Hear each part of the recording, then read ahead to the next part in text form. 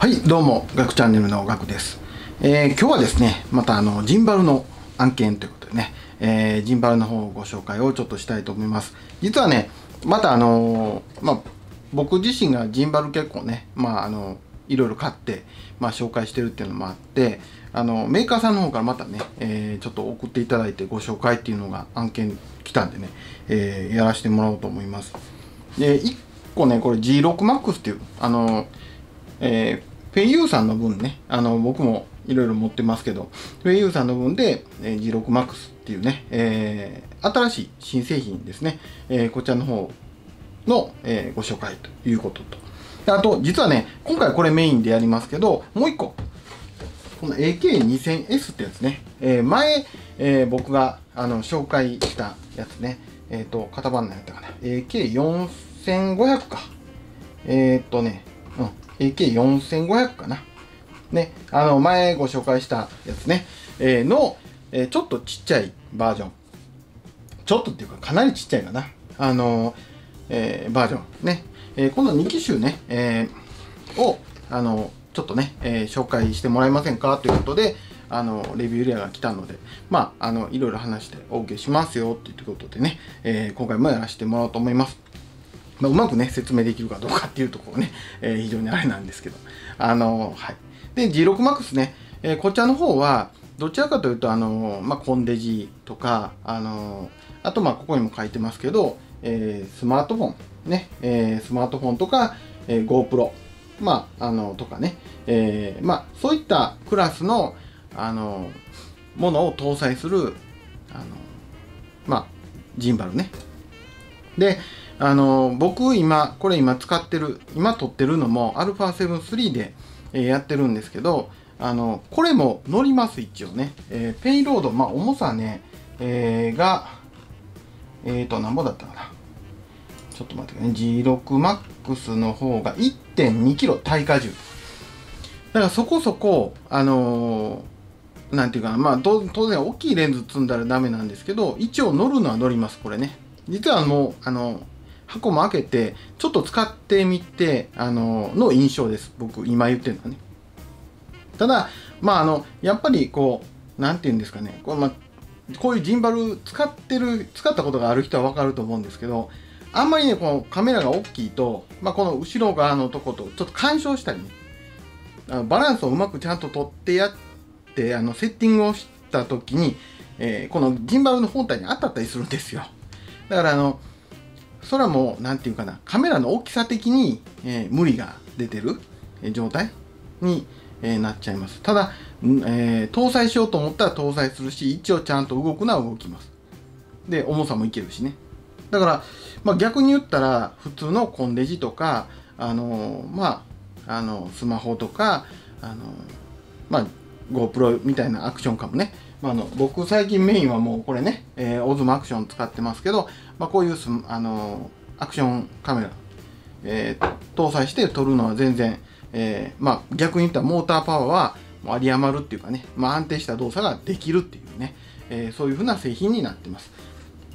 ですごくね使いやすいコンパクトでね。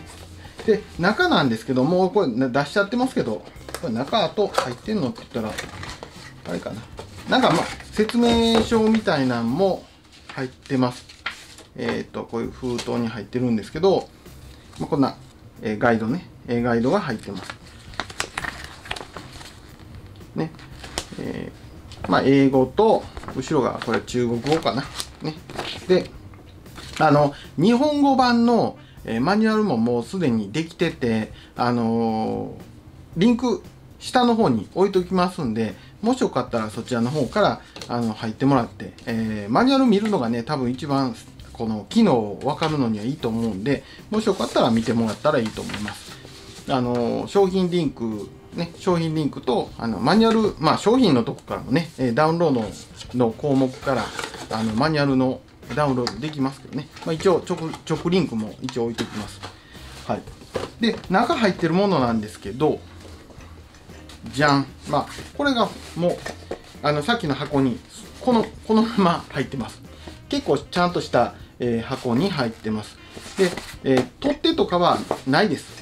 逆に、えー、このままバックパックにポイッと掘り込むような感じ。まあそれでもいいくらいの大きさですよね。で中はこんな感じ。ねこんな感じです。ジンバル本体とあとミニ三脚ね。ミニ三脚とえっ、ー、とこれはまああのカメラ実際取り付けてこうジンバルにカチャンとねはめるまあステステーって言ってもいいかな。まあそういうやつね。これジンバル本体ね。でも入ってるものはシンプルなんですけど。であとはこの中にまあ小物類ね。小物類が入ってます。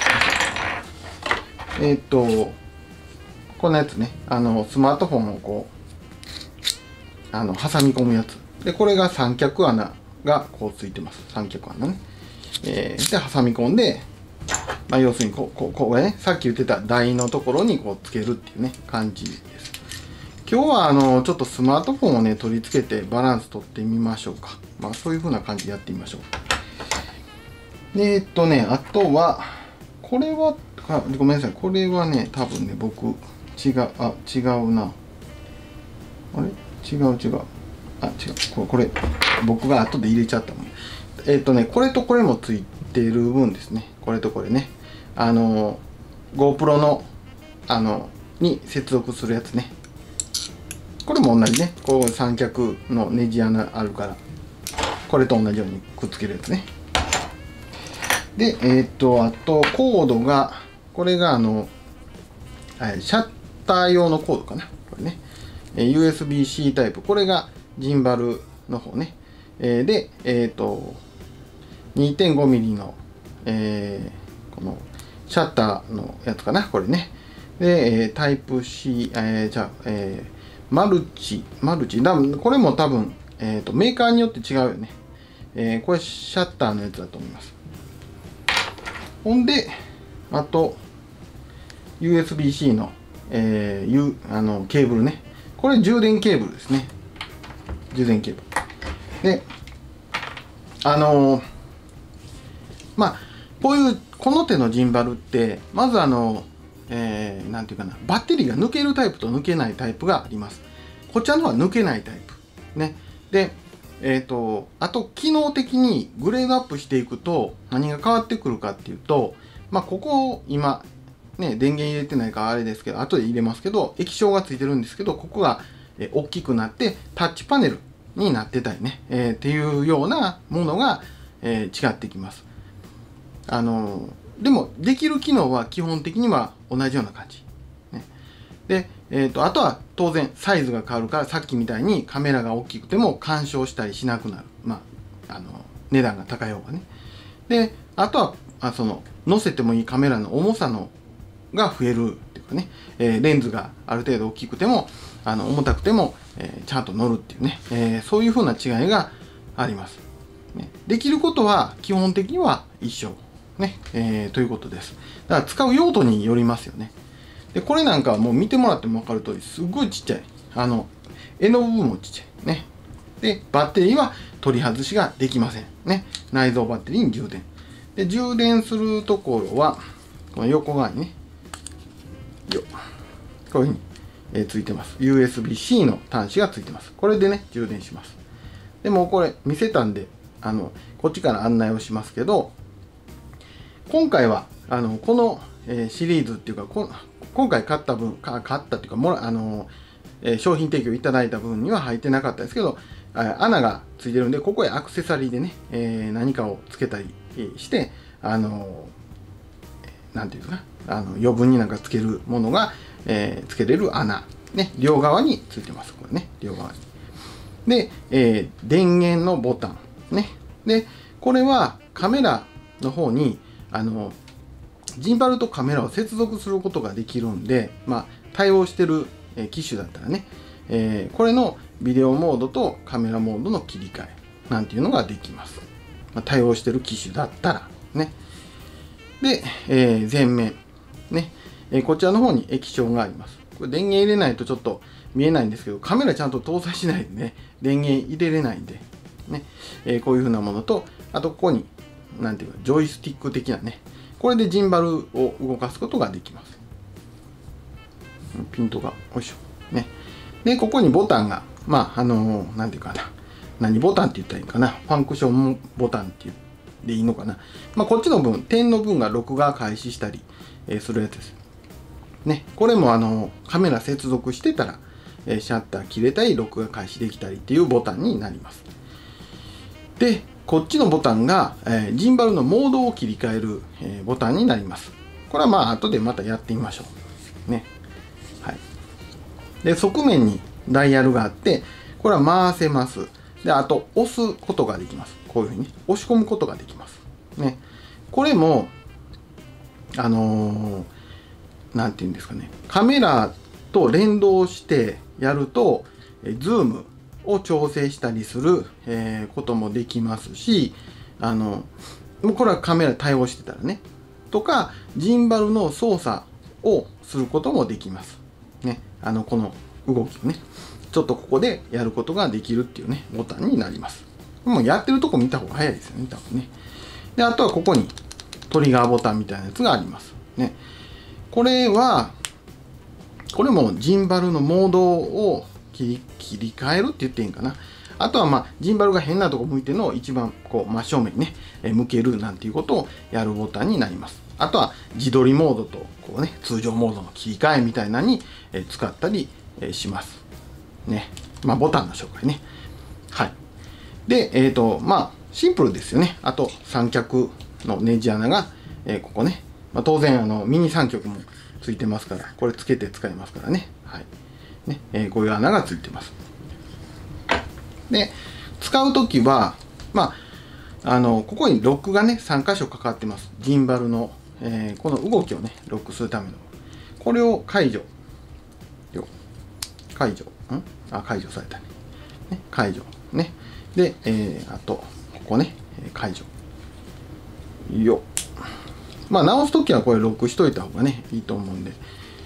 逆にあの、ロック、ね、した状態だったら、まあ、逆にこのままロックした状態で、えー、バックパックにある程度ポイと入れといても、えー、大丈夫だと思います。まああのー、あまりね、え精密機械なんで、まあ、雑には扱えないですけど、まあ、ケースもね、えー、持っていくのがちょっとしんどいなとか荷物ね的にしんどいなっていう場合はそれでも OK だと思います、はい、じゃあちょっと、えー、とりあえずね一回 iPhone 搭載してみましょうか。ね、えー、それでちょっとやってみたいと思います。はいどうも。えっ、ー、とねそしたらまあとりあえずえっ、とと iPhone をね、え搭載をしていこうと思います。えっと、まずね、えー、こちらの方ね、さっき、このベースみたいなやつ、ね、ベースみたいなやつに、こう、取り付けをしましたけど、これが結局ね、ジンバルの、だから、こうなってる、ね、えー、こうなって、この土台のとこに矢印ついてますけど、こういう風に、ね、えー、カチンとこう接続をされるような感じになります。ちょっと、ちょっと上向きの方へか。ちょっと離しましょうか。これでいいかな。ね。えこういう風にえー、なるので、ね、亀その向きによって、まあ、だからこう、こうか。ね。えー、こういう状態で、固定をして、えー、っと、はい。で、スマホをね、えー、搭載します。よよいしょ。ね、えー、こういうふうに搭載をしますね。でえっ、ー、と、まあ、こうだからこうだよね。ああうんあそうね。だからこれ今ちょっと突っ込んだらここへロックが脱落防止のロックがかかるんで今スマートフォンなんでもうちょっと入れただけでねもうこっちが干渉しちゃうんでまあビタ付けじゃあちょっと音声とか取るマイクとかこっちについてるんでまああのちょっと開けた状態でここにね締め込むためのあのやつがあるんでこれロックしたらもうこれ動かなくなりますね。えこういう状態。ね。で今これとりあえずあのこんなブランブランの状態なんですけどえっ、ー、とこれね今一番ねあの前までしてるんですよ。このこっち側向きね。でこれ本当はこの状態でこうな手離した状態でこういう状態にねバランスを取ってあげないとダメなんですけど、えー、この場合ねもうちょっとどうしようもないかな。どうしようもないんじゃないかな。バランスがよいしょ。取れないよね。だからそうだよね。こっち向きに倒れてるからもうどうしようもないですよね。うん。だからこれもちゃんとバランス取っといてあげないとあのモーターにずっと負荷がかかっちゃうんで電池の持ちが悪くなったりとかするっていうことがね一番に、えー、あります。だからあのまあこういう場合ねもう仕方ないんでこの状態でもやっちゃえばいいと思うんですけどね。はい。で次はここの左右ね。左右。左右のバランス取っていきます。今こうなってるからこのくらい。あちょうどだったかな。ね。どっちにこうやっても真ん中に戻ってこれるような状態。ね。大体 OK かな。でこれもここのダイヤルを締め込めばこの左右のねこの動くのが止まります。ロックかかります。ね。であとえっ、ー、とこの上下なんですけどおっとっとこれもねこうやっていった時にあ違う違う違う。よいしょうんこれで今こうなんていうかここうどっちにやってもこのなんていうかなまっすぐに戻る、えー、ところに調整をしていってあげます。まあまあこんなもんかな、でこれもここを締め込みます。ね。で最後ここねここも動くんですけどこれもねこれ今ブラーンとこう下に行っちゃいましたね。こうやってブラーンってね。これがいかないようにね今あちょうど良くなったか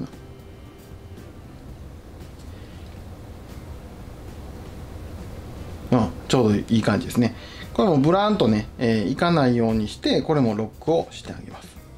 ね。だ動かなくなる。だから今、まあ、本当だったら、この、このカメラ自身の、カメラっていうかスマホ自身の前後でね、えー、この これこれをなくしたい本当はこういう状態にね手離した状態でなるように調整できたらいいんですけどスマホの場合はちょっと難しいということですねでバランスが一応取れたということで電源を入れますえ電源はね、えさっきもご紹介したこのボタン。これを長押しします。はい。そうすると電源が入ってこういう風な状態。もう一回切りますね。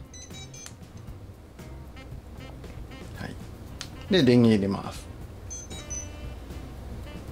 そうするとこういう風にね、えー、バランスが取れます。まあ、こういう状態で、こうね、えー、全然もう普通に撮影もできるんですけど、まあ、あのいろんなね、え機能があるんでそちらの方のご紹介をちょっとしてみたいと思いますはいどうもえっ、ー、とねそしたらね機能の紹介ちょっとしていこうと思うんですけど一応液晶のとこから紹介しようかなと思いますまああの左の上の方から Bluetooth のマークがついてると思いますけどこれはね基本、えー、スマホのアプリかな、えー、と連動するときに Bluetooth を使うのでえそのマークね、え機能が有効かどうかっていうところです。で、真ん中があの Wi-Fi ね。これはあのカメラとかと接続するときに Wi-Fi 使うんでね、えそちらの方。で、あとバッテリーね、え、残量です。で、下に行って下の左のところは、これカメラと連動してたら、えー、ここ、まあ、出てくるんですけど、あの動画撮るか静止画撮るかカメラかビデオかのマークが出てます。で真ん中と、えー、このね、右側の分っていうのがあのジンバルのねモードの切り替ええー、のあの表示になってますね。表示っていうか。でえっ、ー、とこの HF って書いてるとこね。このモード切り替えボタンみたいなやつなんですけどこれ押すと LK に変わります。見えるかな？ね。これね。HF ね。LK ね。でこれ HF っていうのがまあ普通に取るようなこうまあ、普通に滑らかにこう持ちながら撮っていくようなモードなんですけど、ロックモード、LK、まあ、これボタン、今カメラこっち向いてますけど、ボタン押して LK にすると、こう、今、手首こう回してるけど、カメラの向き変わってませんよね。ちょっとピントが、なんかずれてる？大丈夫？うん。ほら。ね。これが HF モードだと、当然回ったらついていくんでこうなるんですよねだから撮影したいものをロックした状態で、まあ、スライドしながらこうね、えー、横に撮ったりとかまああのこういろいろあの撮り方がね、え、できるっていうね、え、ものになりますねでえっ、とまあこんなんぐちぐちやってるとこうねちょっとおかしく向きがおかしくなったりします。正面からね、えちょっとこうえー、なんかずれたいね。真正面から。でそういう場合に元戻したい時もう何かあった場合はこのトリガーボタンを使います。トリガーボタンね。これを2回押してあげるとちょんちょんと押してあげるともう今ちょっとずれてないな。こんなんやってなんかやってたらねちょっとずれてくるんですよ。こんなんやってやってるとね。ずれてずれないな なかなかずれないロックモードしてちょっとずらしちゃおうかねえー、こんなんやってるとあ、今ずれましたね。ずれてます。で、この状態でちょんちょんってやると、こういうふうに戻ってくれます。だからなんかもう向きがおかしくなったら、このトリガーボタンをダブルクリック。ね。で、ちなみにこのトリガーボタン3回押すと、自撮りモードに切り替わります。ね。えー、元戻すのは2クリック。2クリックをすると、もう完全にじ あの真正面を向いた状態で、えー、戻ってくるんで、もう何かあったら2クリック。と覚えてもらったらね、いいかなと思います。で、えっ、ー、と、ここね、横のボタン。まあ、ここの、ここの、なんていうかな、ジョイスティックみたいなやつは、こう、動かせば動かすだけ、まあ、あの、こういうふうに、ジンバルが動いてくれるんで、まあ、こんな感じでね。で、元戻すときは2クリック。えこんな感じ。まあ、ジョイスティックはもうそのまんまの状態ですね。まあ、あのやればやるだけ動くっていうね。で、この横についてるボタンなんですけど、これね、今は何になってるのかなあ、これね、えー、こう上下こう動いてるの分かります？こう、こうね、ぐーっと。ね、えー、チルト方向に動いてると思うんですけど、えー、これね、ここのボタンをポチッと押してあげると、今、チル、あの、パンって書いてましたよね。押すと、今これパンに切り替わりました。パン、パンモードね。だから、意外とこう取りながら行くと、このジョイスティックだと結構ね、動きがね、行き過ぎちゃう時があるんですよ。だから僕なんかはこれでね細かな操作をしようという時はなんかこうあのやることが多いです。でこれボタンを押すと切り替わります。ねロール。ロールモード。ロールモード僕あんまり使わないけどロール。でえっ、ー、とでチルトに戻りましたねパンチルトパンロール。で、ここ、真ん中のとこが変わってるでしょ？ね。真ん中の映画。ね。だから、あの真ん中のやつがこっちのモードのやつ。ね。右側の HF とか書いてるのがこれで切り替えっていう感じになってます。ね。これ結構便利ですよ。これね、えー、僕結構使うんでね。はい。でも、ロールとかしてなんかおかしくなったら、もうおかしくなったら2クリック。ね、えー、それで戻して、えー、また撮影やってあげたらいいかなと思います。で、あの、まあ、機能的にはね、えー、そんな感じになってます。あ、あとね、えー、細かな機能っていうのは、ごめんなさい。えっ、ー、と、忘れた。あの、設定関係ね。ピントが合わないな。ん？なんで？あったかな？うんうんうん。ね、えー、この電源ボタンをね、一回押しますよ。ポチッとな。ね、そうするとこういうふうな、えー、モードの切り替えボタンができます。えー、この、えー、一番上のやつね、一番上のやつはね、あの、これね、くるっと回るやつなんですよ。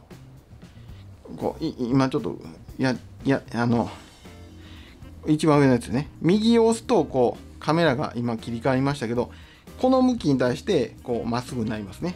で、えー、ターンライトとかレフトとかこう書いてますけど、これ、えー、この状態で GO があの右、右ね、ジョイスティック右なんですけど、こう、一回やると、ぐるーっと一周回って、えー、こんな撮影ができるっていうやつです。ね。で、今一周回って止まりましたけど、ターン、ライト、レフトの後ね、えー、なんていうかな、もうずっと回るモードなんていうのもあります。あとはスピードの設定もできます。速くしたり遅くしたりね。えー、こんなも、えー、できます。はい。ね。まあそんなモードが一つ。でもう一個ねこれなんなななんていうものか僕も間違えてたらねちょっとまずいから。この真ん中のやつ。真ん中ちょっとピントが合わないぜ。えー、この真ん中のやつね。真ん中のやつはねこれねあのあのここういう状態にしてやった方がいいと思う。こうこれ横向きにキュッとやるとあのよいしょ。ね。縦取りモードっていうのになります。ね。だからあのなんていうかな、スマホで SNS 投稿する場合とか、縦で、えー、動画とか、まあ、撮ったりする場合もあると思うんですけど、縦撮りモード。ね。えー、縦撮りモードをやるときは、多分、あ、だだだ。あれあれあれなったかな？あ、なったね。これで、これでいいかな？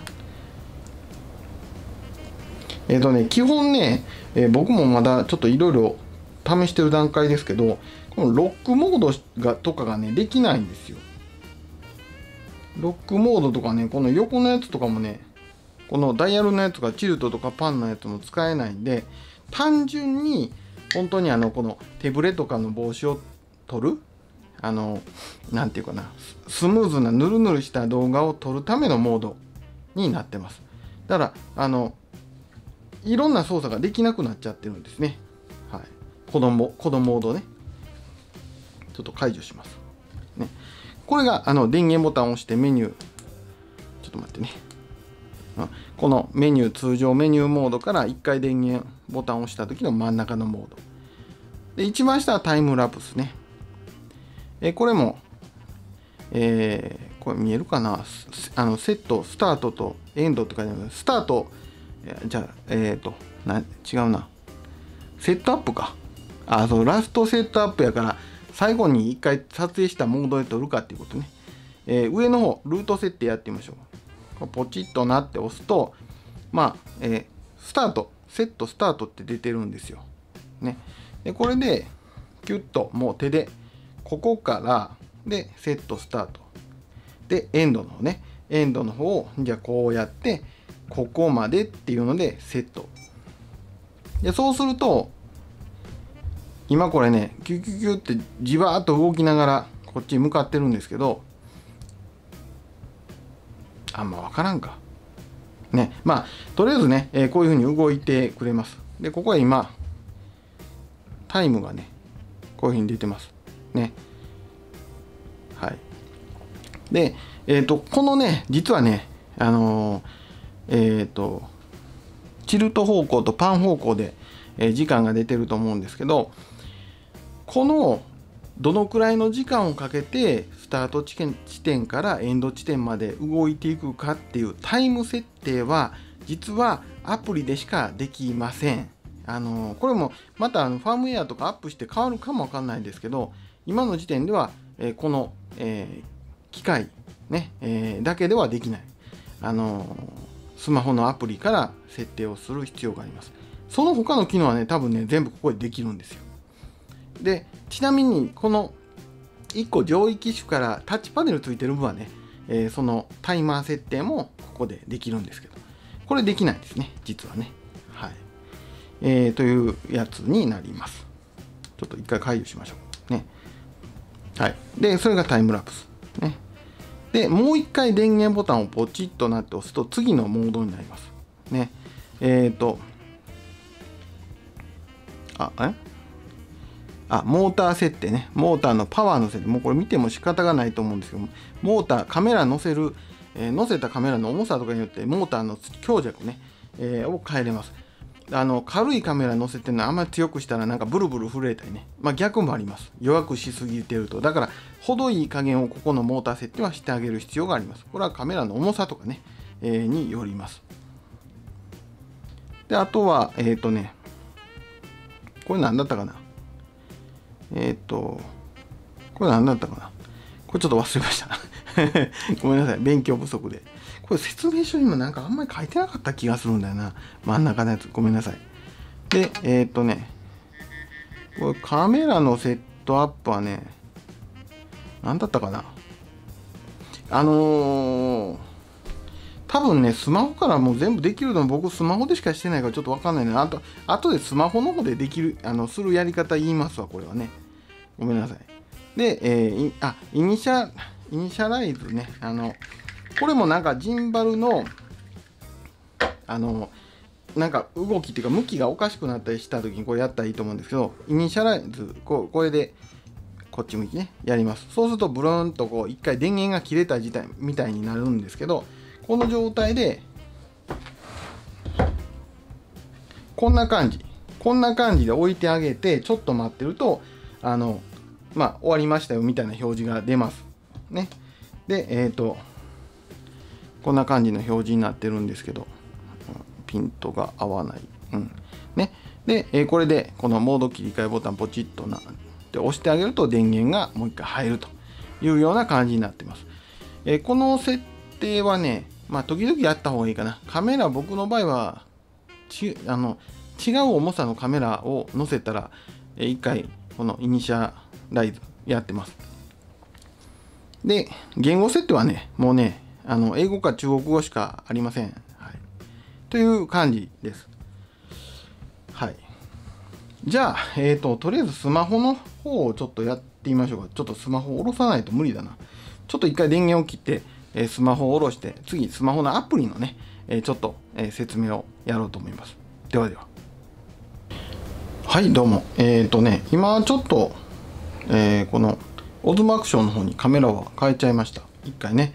あの、これ、あの、カメラ載せてないと、ジンバル電源入れたらもうジンバルちょっとおかしくなっちゃうんでね。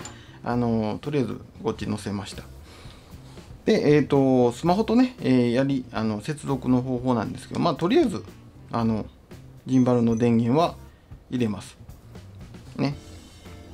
で、えー、スマホのアプリなんですけど、まあ、これ、フェイユーさんの、あのなんですか、ジンバル使ってたらもうわかると思うんですけど、同じ Feiyu ON っていうね、えー、アプリになります。えー、広告がね、出るので、ね。で、そうすると、もう、まあ、近くにあったあの電源があの入ってるやつがあったらね、Bluetooth で接続をしていきます。今もつながっちゃいましたけど、え基本的に Bluetooth の接続確認みたいなのが出てきたと思うんで、それを押してあげたら、あの接続をすぐします。あのそんな、え難しくはないので、まあ、そこは、えー、まあ、パッとやってもらったらいいと思います。で、基本的にもこう繋がったら、これだけで、えー、ジンバルのこうね、え操作が、え、まあ、スマホでもできますっていうことでね。まあ、これ、僕あんまりこれでジンバルの操作とかやるっていうことがあんまりないんですけど、あのー、まあ、遠隔で何かやりたいことがあったら、まあ、これも使えるのかなと思いますね。で、えっ、ー、と、まあ、セッティングをここで、まあ、ジンバルのセッティングはここで、いろいろ、え細かいところをやっていきます。あの、やっていくことができます。基本的には、あの、えさっきやったような、あのものね、えー、なんていうか、設定とかができるんですけど、タイムラプスのね、このね、えこのタイマーの設定、これ今、3分とか出てるでしょ。あちょっと見えにくいね。3分とかね。えー、まあ、チルとパン方向、えー、これチルとパン方向ね。ここの設定だけはここでしかできないんで、まあ、あの、ちょっとね、えー、気にしてもらったら。あと、あの、タイムラプスのこの、カメラ連動してたシャッター切るね、えー、どの、どのくらいのこのタイミングで切っていくとか、まあそんな設定もここでできます。まあできたらこうセーブね。まあ今何も変えてないけど、バッテンでいこうか。うん、うん、ね。えー、まあいろんな設定ができます。で、えっ、ー、と、あとね、まあ、まあ、これ操作いろいろできるんですけど、基本的にだからジンバルでできる操作がここでできるっていうことなんですけど、カメラね、カメラとこう、えっ、ー、と、だから、なんていうかな、これ、最終的にカメラと、えー、接続をしたジンバルのだけで録画を開始したり、シャッターを切ったりとか、えー、できるんですよ。で、あの、例えば、まあ、カメラって言っても、まあ、いろんなカメラがあると思うんで、まあ、動画とこの静止画の切り替えを、まあ、なんていうかな、あのスイッチのカチカチってやるやつじゃなくて、なんかこう、普通に切り替えれたら、多分ここら辺のボタンでも切り替えれるとか、まあ、えー、できるんだと思うんですけど、まあ、そういうふうなことをするためにね、カメラと接続するために、えー、その接続するためのそのごめんなさい、えー、設定をねここではできないんですよ。だからスマホが絶対いります。ね、スマホとまずこいつを一回つないであげてこの状態にした状態でこのカメラの設定をやっていきます。ね、そうしたらメーカーを聞いてくるんで例えばソニー。だから対応機種ね、えー、出てくるんでこれで、えー、まあ、ボタンをポチッとなと押してもらうと。で今これざっと見てもらったら α7-3 はこれ出てないんですよね。だからこの機種では、えー、α7-3 のシャッターとか録画のボタンは今の時点では、えー、できません。操作がね全くできない、ね。えー、状態です。だからやっぱりどちらかというともうワンランクちっちゃいタイプ。だアルファ今だったら、えーと、6400とかまあそのあたりですよね、えー、の機種。ね。でソニーだったアクションカム RX の0とかまあそういった、えー、もの、えー、をまあ、搭載するようなくらいのジンバルということになります。まあ、その他にも、まあ、例えばキャノンさんのところ、あ、そうか。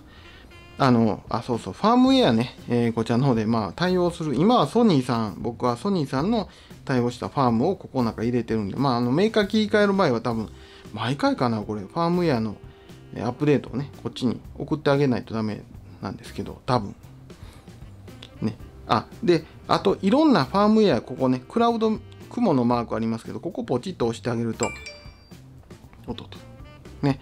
えー、こういう風なえー、アップデートの画面になります。今はもう最新バージョンが、えー、ファームウェア入ってますけど、まあ、ニューとか言って多分赤とかでニューとか出てきてたらそれをポチッと押すと、まあ、ファームウェアのアップデートね、えー、これをポチッと押すともうこれだけでスマホから、えー、アップデートがあのできるようになってますねえー、まあちょっと今電池残量全然少ないんですけど、アップデートするときは電池残量ね、えー、ちゃんとあるときにやった方がいいと思います。あと接続、電波状況もね、ちょっと気にした方がいいと思います。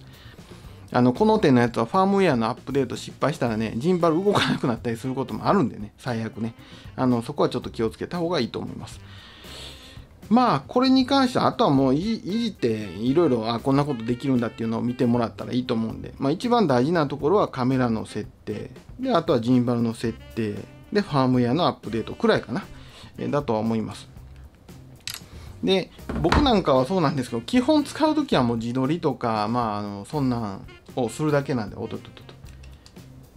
ああ、ちょっと、これ、あの、倒れちゃいましたね。だから自撮りとかをするだけなんで、えー、スマホとか出すことがほとんどないですね。もう撮り始めたらこのままずっと撮っちゃう、えー、感じです。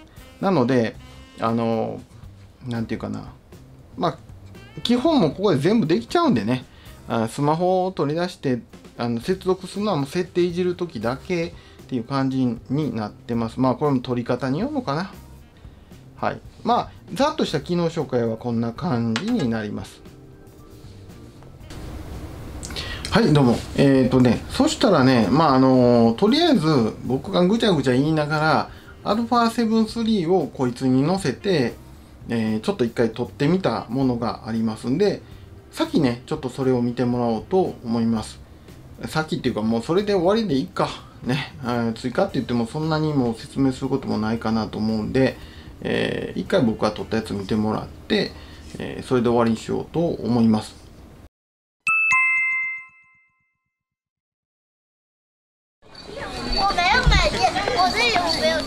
はい、えー、今どうも、えー、今ね、えー、東大寺の、えー、参拝道っていうかね、えー、に来てます、えー、向こうがあの大仏のとこですよね。でとりあえずまあここでちょこちょこ、えー、撮影をね、えー、していけたらなと思います。もう観光がねほぼ外国人。日本人いてるのかな？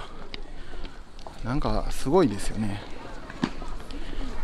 ちょっと縦揺れを気にしながらちょっと歩こうとは思いますけど。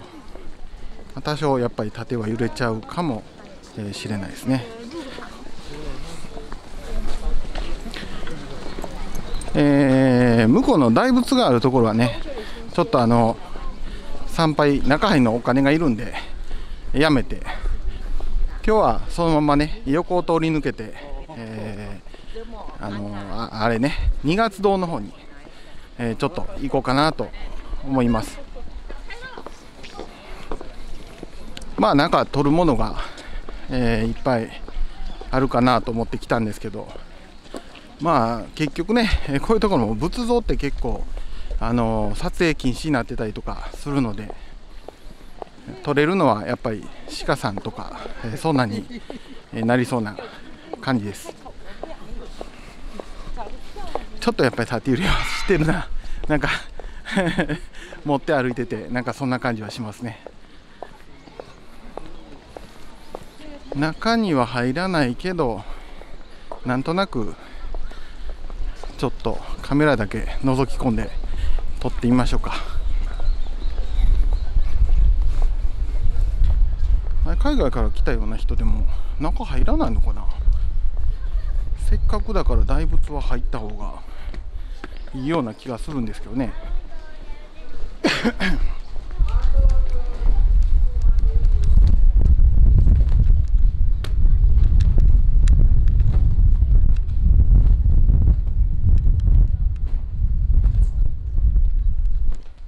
えー、結構ね風が吹いてますけどマイクいけてますかね。一応あのモコモコはつけてるんですけど若干風切り音っていうかねは入っちゃってると思うんですけど。これだけ外人さんいっぱいいてるとねあの撮りやすいですね。喋りながら歩いてても全く違和感がない。っていうか誰も気にしてない感じですよね。だから日本人がいてないっていうことでしょうね。それだけ。あ鹿ちゃん。鹿ちゃん。鹿ちゃん。ん？鹿ちゃん。逆光になってるな。お尻取っても仕方がないけど。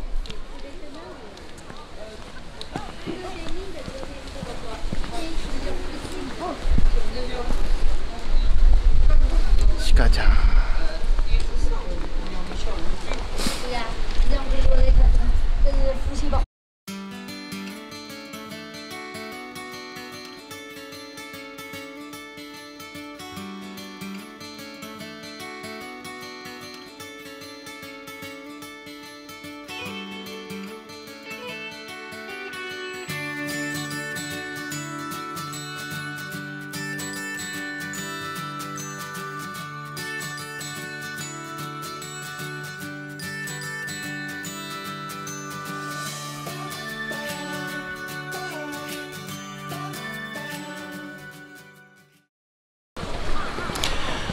はいどうも。えー、とりあえずね鹿ちゃんちょっと撮ってみましょう。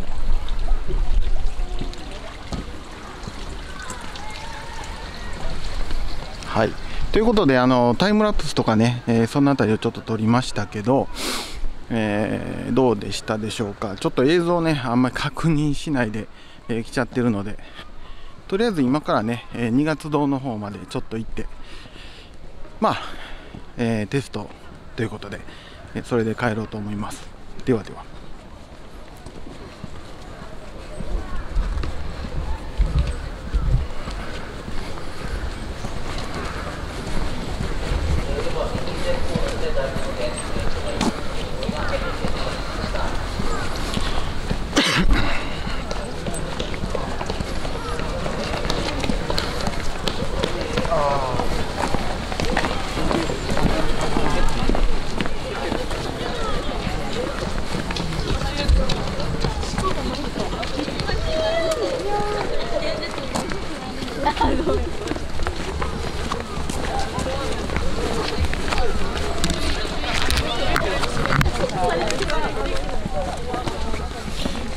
おはようご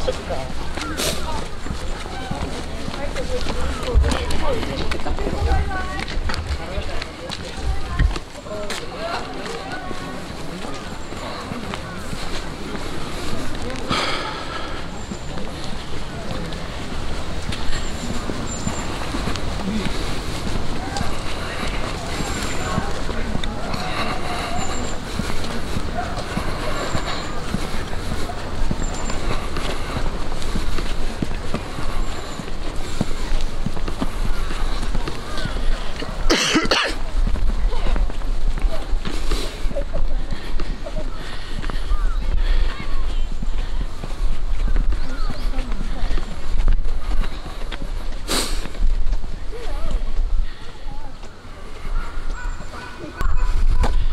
ー、鹿の注意事項です。結構ねこの発情期危ないんでね奈良来た際はお気をつけください。ではでは。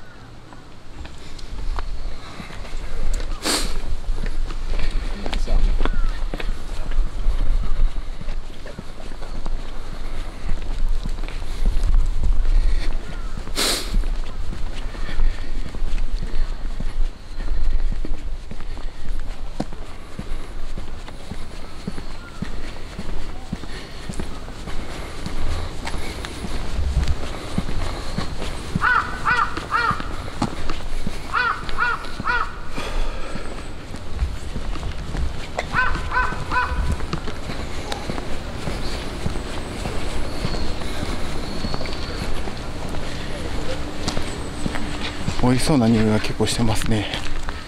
カレーの匂いが。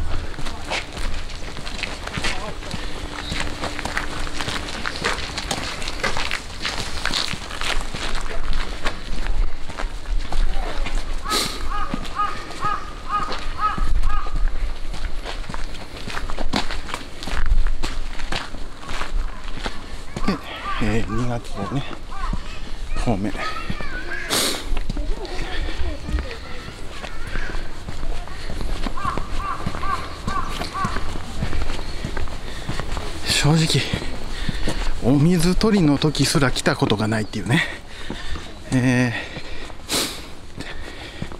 ー、ニュースであの見るだけですよね。お水取りも。これまっすぐ自分に対して正面の方が見やすいかな。こんな感じ。はい。見えてきました。ね。あれ。2月堂ね。これが3月堂かな。多分。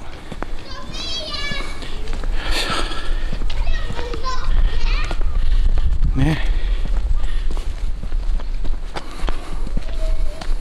こっちまで上がってくるのは久々かな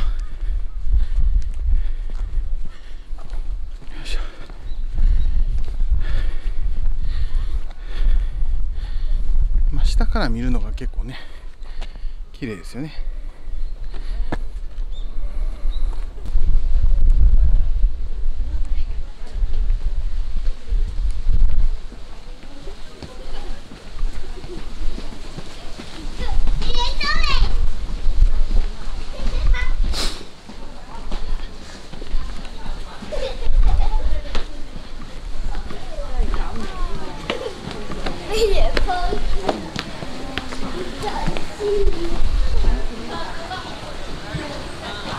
はい上まで上がってきました。えー、まあ綺麗に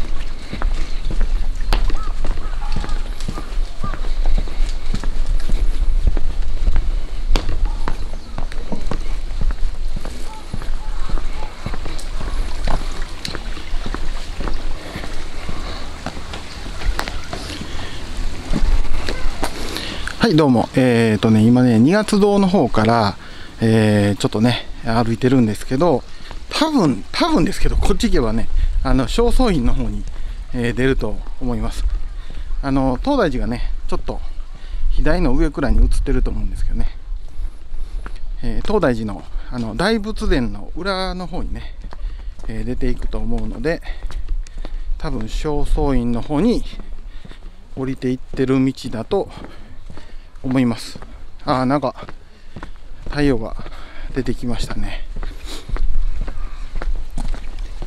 えーところどころにね、えー日本の方がいてるんで、若干ね、こう、怪しい雰囲気が、こう喋りながらね、えー歩いてるっていうね、えなかなか撮りづらいですよね、やっぱりね。はい。ということで、ここ右、あ、違うな、駐車場やな。まあ、正倉院までは別にね、もともと行く予定じゃなかったので、